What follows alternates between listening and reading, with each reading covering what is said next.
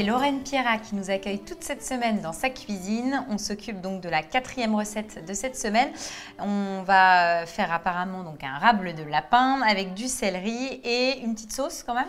Une petite sauce moutarde. Ça marche, ça fonctionne bien, valeur sûre, t'as raison.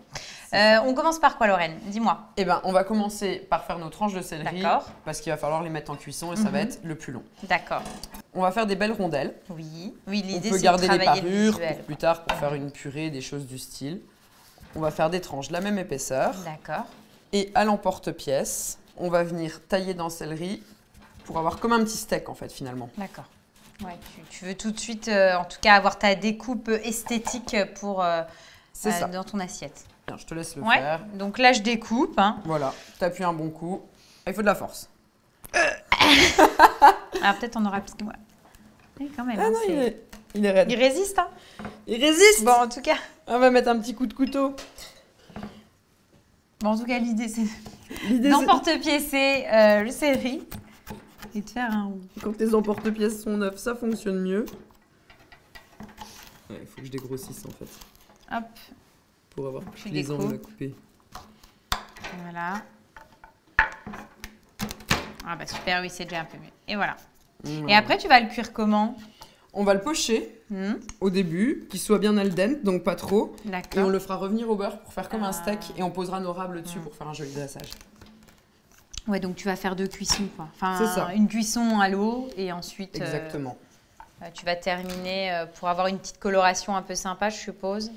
Et le cresson, là, tu, tu, tu le prévois pourquoi Tu vas faire Pour quoi rajouter avec? un petit peu, une petite touche de fraîcheur, on va le mettre en cru comme ça sur Mhm. l'assiette. Donc là, c'est bon, on a préparé euh, les trois céleris qu'on a emporte-piécés. On les passe tout de suite en cuisson, Voilà. au bouillante salée. C'est ça. Donc là, hop, au bouillante salée. On va laisser combien de temps? Oh là, on laisse 5-6 minutes. D'accord, ok. C'est juste qu'il soit Mm. al dente et parce que de toute façon, on finit après la cuisson avec du beurre. Oui. Donc là, on laisse tranquillement et on s'occupe donc de notre rable. Voilà. Tu vas le travailler comment? Et ben on va le désosser. Hop. Là, on, a, on sent bien, il y a deux os, donc on va aller chercher en dessous de l'autre os. D'accord. Pour retirer. Voilà. Mhm. Et comme ça, on peut le rouler Euh, sur lui-même. Oui, puis comme ça, tu gardes quelque chose de très esthétique. C'est ça. Mhm. On a comme un petit filet mignon. Mhm. Et là, tu vas le, le cuire comment, le, le lapin? À la poêle, Tout simplement. tout simplement. Donc là, ça va cuire très vite. Mhm. Et puis, on fera une petite sauce par déglaçage. D'accord. Donc, on est, on est sur une cuisson qui est très rapide. Oui. On peut éventuellement parer quand il reste des morceaux comme ça. Ouais, on est loin du lapin en cocotte euh, qui euh, va mijoter pendant 45 minutes. Quoi. C'est ça. Là, on est plutôt sur une cuisson euh, rapide et éclair. Voilà, on va retrouver les mêmes goûts que Mhm. le lapin à la moutarde qu'on mange le dimanche Mhm. chez mamie. Hein, c'est le plat que nous fait toutes nos mamies, ça.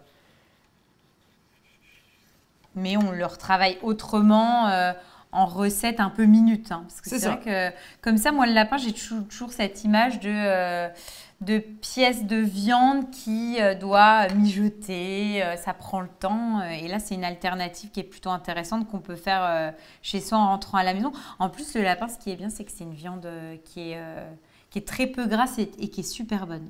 C'est ça. Donc là, et à chaque fois, tu vas les, t'en mettre à deux par assiette, c'est ça le principe? C'est Hein, ça. Tu vas les positionner comme ça. Donc là, on les, on va les passer en cuisson Oui. tout de suite. Ensuite, on terminera le, le céleri à la poêle Voilà. et on fait la sauce au dernier moment. C'est ça. et on dresse. On réserve l'érable au chaud quelques temps et puis Oui, on fait la sauce, euh, Hum, directement dans la poêle. Alors, ce qu'on va faire avec le rab, c'est qu'on va mettre dedans un cure-dent. Pour qu'ils se tiennent. Voilà, exactement.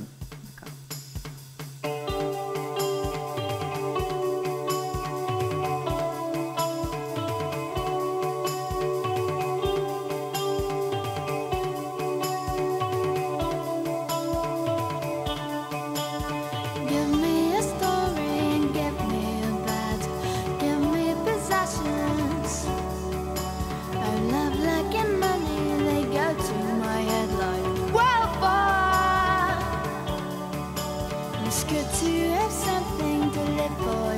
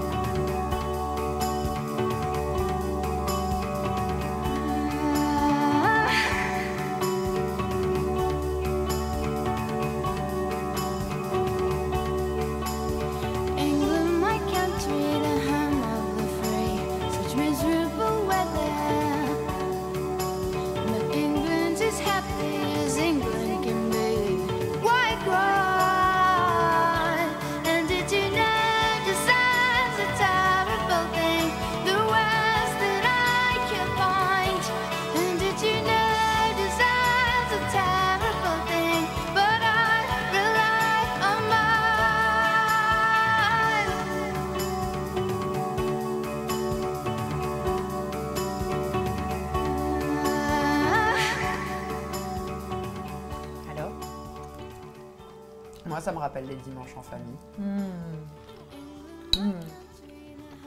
C'est top parce que, bon, déjà, le, le lapin est excellent. Avec la petite sauce moutarde, bah, ça fonctionne bien. Puis ce qui est sympa, c'est qu'elle a, une belle consistance. Donc, c'est un peu comme euh, de la moutarde que tu viens vraiment récupérer en goutte. Donc, c'est top. Et j'aime beaucoup le céleri parce qu'il est caramélisé et ça va très bien avec, euh, avec le lapin, ce côté caramélisé, gourmand. euh. Et euh, on est sur quelque chose de très très simple et facile à réaliser à la maison. Enfin, franchement, là, en termes de simplicité, on ne peut pas faire mieux. Quoi. On peut pas faire plus simple. Non, c'est top, c'est top. Encore une belle, re- une belle recette, Lorraine. On va terminer avec un dessert, hein, quand même. Quand même. Qu'est-ce que tu nous suggères? Et ben on va faire une petite pavlova. D'accord. Sauf que comme les fruits rouges, c'est pas de saison, on va la faire aux fruits exotiques avec de l'ananas et des fruits de la passion. Waouh, super.